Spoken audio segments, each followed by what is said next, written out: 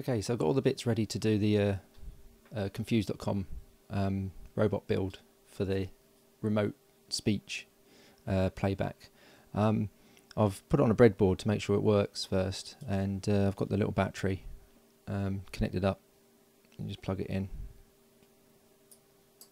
and at the moment it's just switching the relay on and off um, once every half a second. Um, so if I turn that around, you can see the green light flashing. Um, so what I'm going to do is I'm going to put it onto the vero board including some little headers so I can actually power it. Um, so I can just unplug things uh, rather than having everything soldered onto the variable. Board. I'm going to have a switch which switches the uh, Arduino on and off, which will probably end up switching on the uh, confused.com robots um, little circuit as well, so you don't have to worry about turning both switches on at once. Um, that's pretty much it. So I'm going to start dismantling the breadboard version and put it onto the uh, onto the vero board. So the first thing I'm going to do is take everything here apart. Um, I've got the battery disconnected so I can just pull everything apart really. And then uh, start building it onto the onto the vero board instead. Now I've got the circuit that I need to use to switch the relay on and off. Um, uses a diode, a resistor and a transistor. Even though those three components are actually on the relay board, um, they they don't seem to actually work properly on there. Um, I might look into it one day, but there is definitely a diode, a resistor. Oh, there's three resistors on there by looks things, and uh, a transistor on there as well. So I'll move that out of the way for now. First thing I want to do is um, actually put the, the pin headers on for the for the, the ESP. So if I pull that out of there, we can work out how many pins I need cut that off.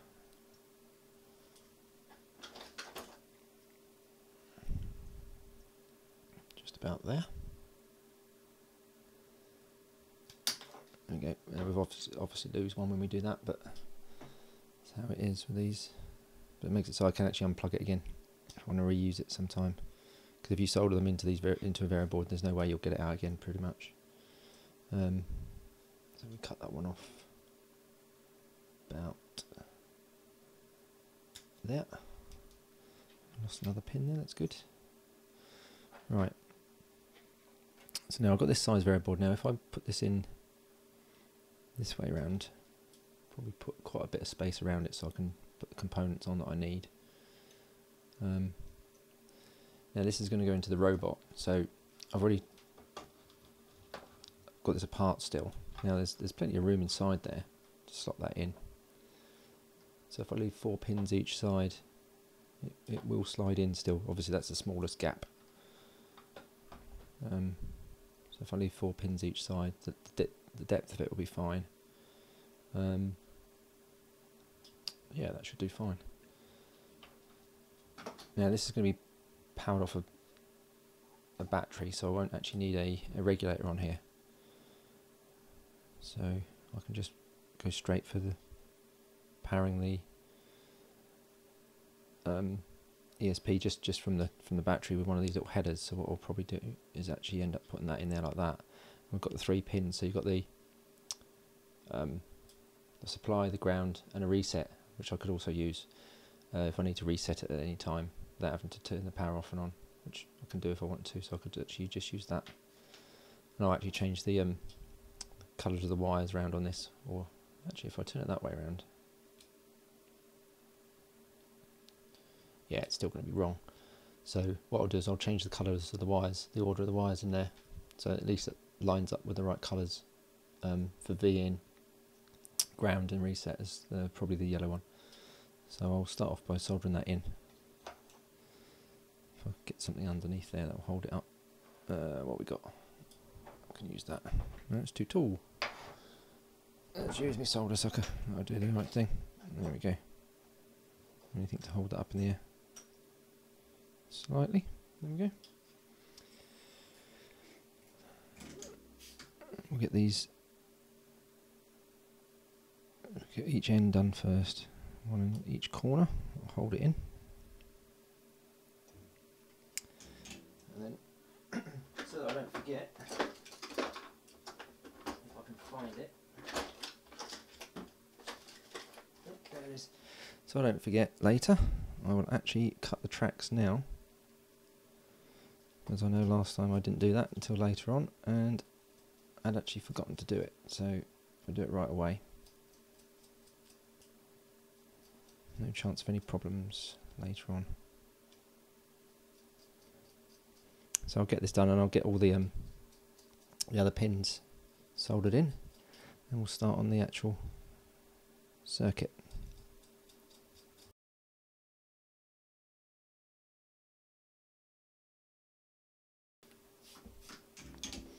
Okay, that's all those done. Um, yeah, they're actually quite neat if I bring them up to the camera there. It's not too bad a job actually. Um, I didn't rush it, I just did it one at a time and got them done. Right, so next thing to do is I want to put this header on. Now what I'll do is I'll put it in that way around. I'm going to need to bring some wires up from the ground and the V in up to this end, but I'll do that underneath the actual device rather than actually trying to do it between there and between there and the, the header. So if I solder that in next, um, just get a bit of solder on the top of it. I'll get something to sit it on. There we go. Sit it on there. There's always something around. Nope. Excuse me, pliers. Hopefully I can get that to sit there. So I can hold it down with my hand. There we go. Once you've got one of them done, you can actually make sure it's quite flat. Yeah, that's pretty good. Get the other two done.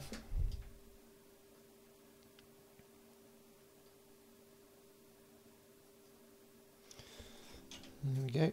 Right, so then what I'm going to do, I'm going to use one of these little fan plugs. And they're actually all completely in the wrong place, so I'm going to have to change them unless I've already done this one. Let's have a look at this one. No, that one's already, that's still wrong as well. So I'll get a little screwdriver. No, that's not small enough. Um, yeah, that one might do. No, that's too big as well.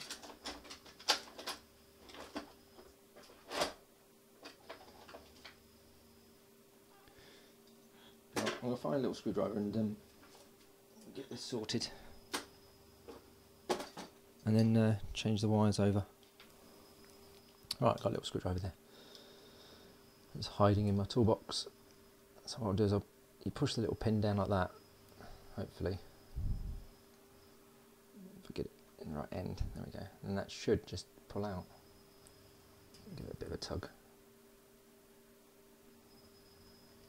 Yep, there it is.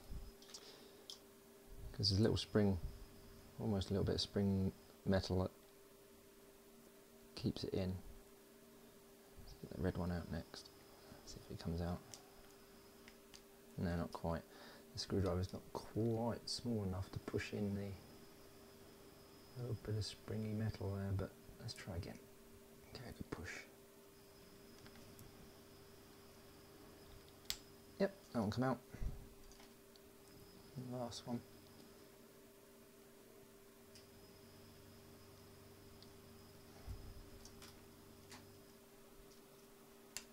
Yeah, that'll do. Right, so what I'll do is to find out which one.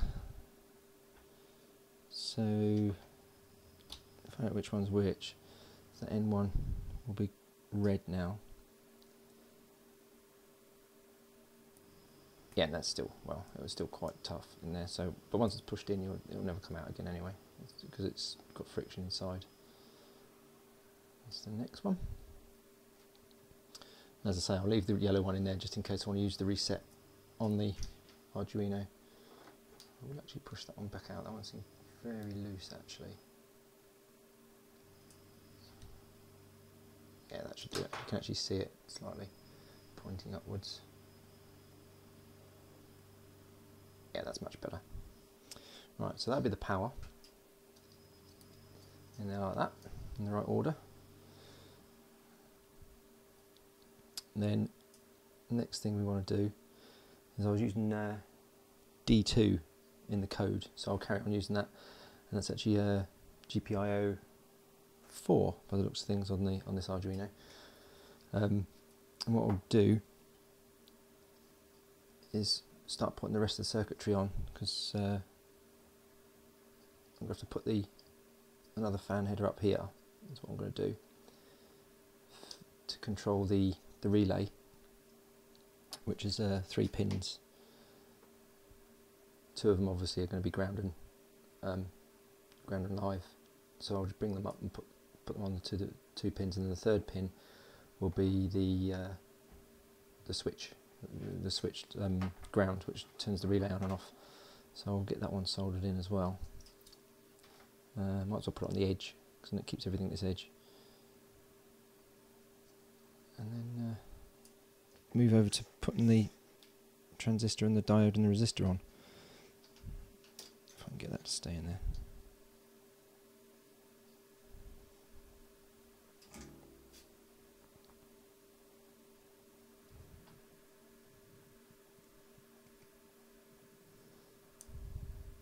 Yep, that's sturdy already.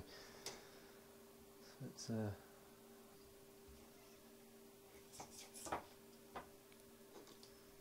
get the other two done as well as getting the first one done properly. There we go. Right, so I've done this cable, so I need to do the same to this one although it doesn't really matter because what I can do is actually bring the, the cables so I can actually it's the opposite way around. I mean it's it's completely different. You know none of the pins are in the same place. So I might as well just leave it like that to be honest and then just power the just connect that to the relay. Um, so what I'll do is put the supply in the middle ground at the end and the switch one on the yellow and just connect it up like that really. So I'll get that done now. At least the uh, the supply and the, the ground are quite straightforward anyway because they can just be brought off straight off the battery. Um, the switch is going to go in the in this cable um, off the battery. So I'm not going to bother putting another one of these little fan headers on there for the switch because uh, I might as well just leave that in the wire. So next thing I'll do then is connect the the live and the ground up.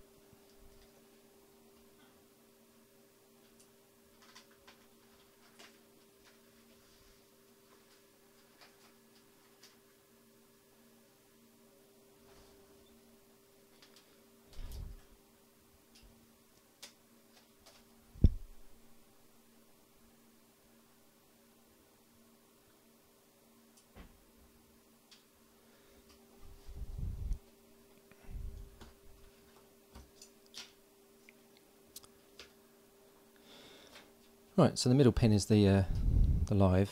So um, I'll actually take this down the outside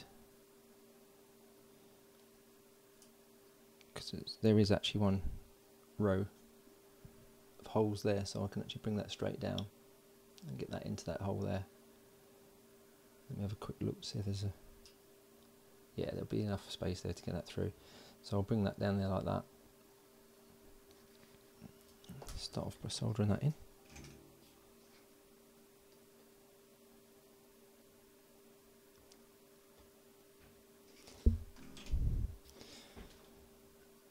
Other end, we cut that obviously a bit longer than we need to. Might as well take it down to about, I don't know, there somewhere. Wire strippers. Yeah, they look okay. I'll just judge it, it's probably around about there. Give it a twist.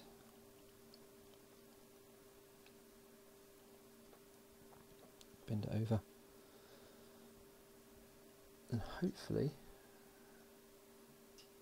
yeah it's a little bit too long. So we go a bit shorter.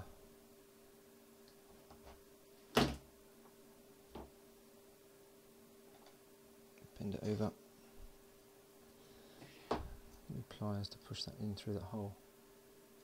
There we go what we'll do is I'll pull it through, bend it over. I'll actually cut the end off because it's actually sticking up a little bit there. That's good.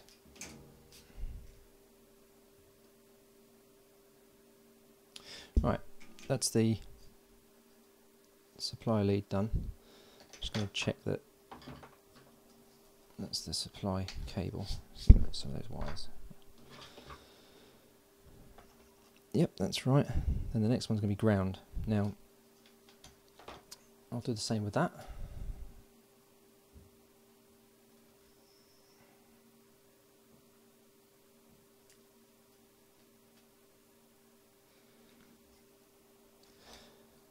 So I'll do the same with that and I'll actually go down the inside of the uh, ESP this time.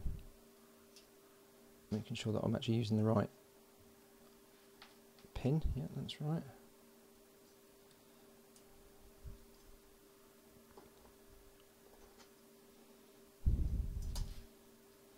I haven't just pulled that cable back out, as I did. Let's try that again.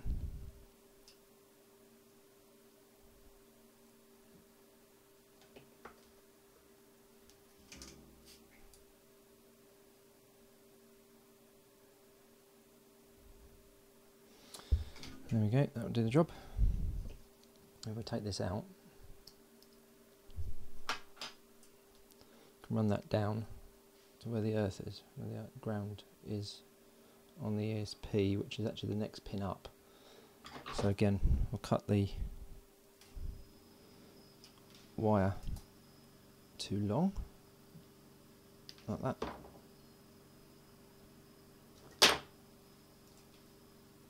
And strip the wire back.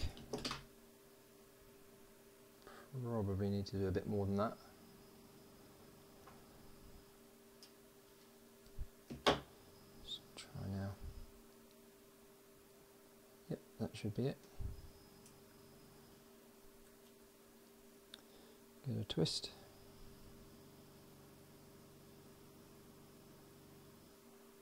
that should be it. Right, so that'd be the the supply to the um, the relay.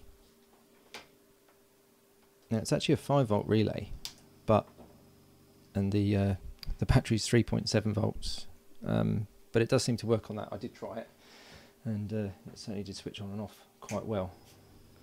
Um, whether when the um, voltage drops much lower when the lipo starts running out, it'll it'll probably stop working. But if it does that, I have actually got another battery type thing uh, which is actually, let me get it, I'll show you. Let's get that soldered. Is that the right hole? No, that wasn't the right hole. About there, that's it. It's uh, this one.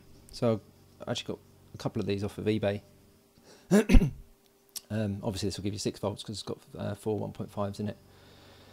Um, but then I'd have to use a voltage regulator to drop that down to 3.3 um, which is an option. I mean, there's certainly going to be enough room on here to do that if I need to, or I could put it on another board. Uh, probably would have to actually now that I've soldered all this on, but it seems to work with the 3.3.7 volt single cell uh, LiPo.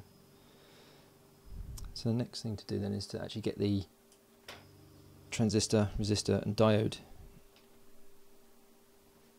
into the right places. Move some of this other stuff out of the way.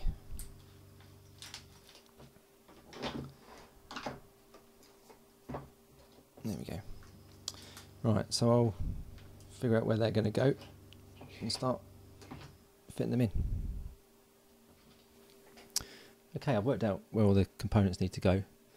Um, I did that off camera because I'm reading it from a diagram and um, it's quite boring to watch. well, there's nothing to watch, it was just me figuring out where they go. So um, if we put the diode in, in there, um, it's the right way around and it's between the uh, VCC and the uh, switched uh, cable for the for the relay. So that's in the right place. So we'll get that soldered in first, and then there's a few track. There's a track I need to cut.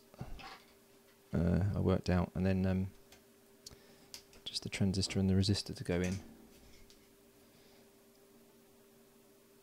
We'll get that one soldered in.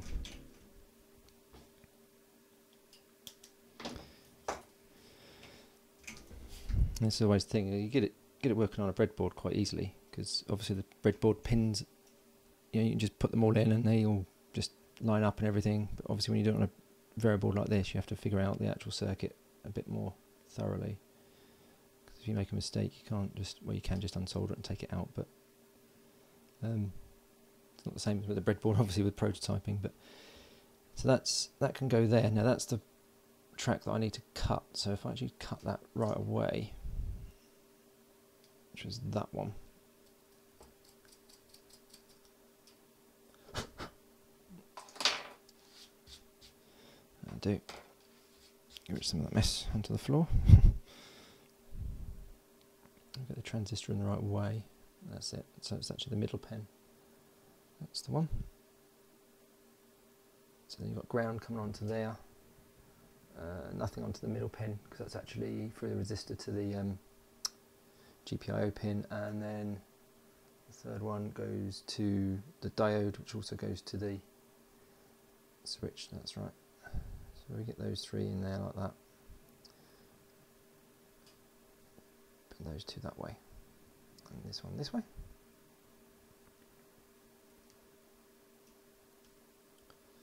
There we go. Obviously it's quite tall underneath there. There we go, get the battery underneath there, that'll hold it up.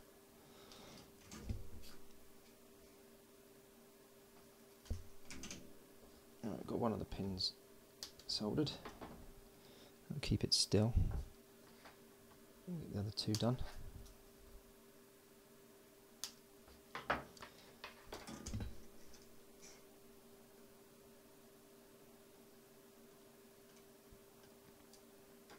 like that. Yep. And then the resistor goes from the middle pin to what will be a GPIO output. So I'll bring up GPIO 4 uh, up to there with another piece of wire to the center pin of the transistor. And that should be pretty much it. Then all I need to do is then connect up the relay to the little fan header wires. Same with the the battery. And we should be pretty much done.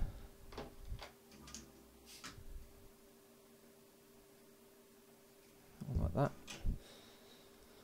Another piece of yeah, piece of blue wire. That'll do the job. Strip the ends off.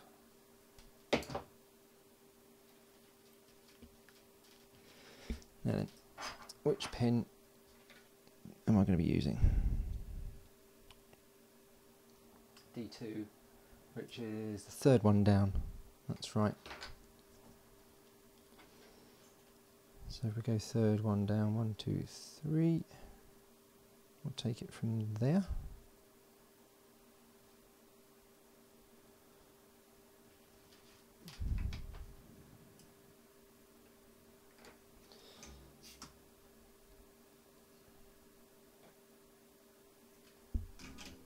One end done. Bend it over. And cut it quite long.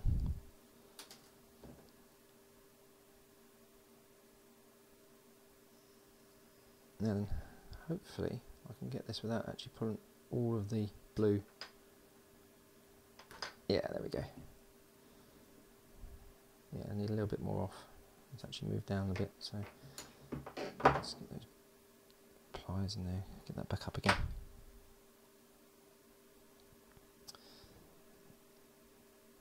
The blue plastic's actually moved away a bit there. Let's see if that's going to be long enough. No, a little bit, little bit more off there.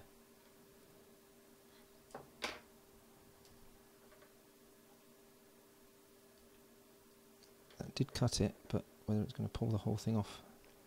No, we should be good. But again, it has moved it down the wire a bit. If I push that back, it'll at least cover it up and keep it neat, neat and tidy looking.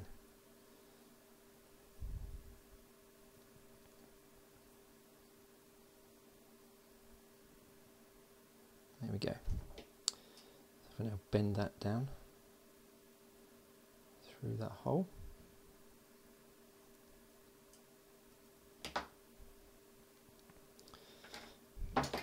Bend it over, cut it off. Hopefully, that's about all I need to be doing on the board.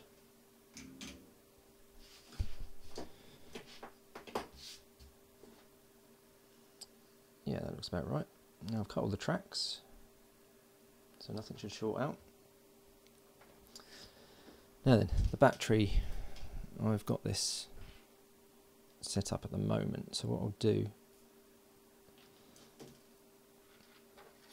is I'll actually push that one onto there, that one onto there for now. Connect that up. Well, actually, no, we'll put the Arduino in first. And the blue light should flicker just once when I plug it in. Let's see. No reason why it shouldn't. I didn't see it flicker. Now let's try it again. Yeah, it did. It flickered. So at least the Arduino is coming on. Then the next step, if I get the relay, take all these extra pins off, wires off. We've got supply, got earth, ground one in there like that. And then the, the switched. Get them all pushed on there, it's quite neat. Now then, so leave a worker, it won't. If it doesn't, it's going to need some looking into. Ah, there we go, it's working great. See, I've got faith in my own work somewhere. so that's completely standalone battery. And the Arduino switching the relay on and off once a second, or once every half a second. So I'll carry on with this and uh, do the rest in another video because this one's getting quite long now. So if you like this video, uh, please like and subscribe to watch uh, any future videos.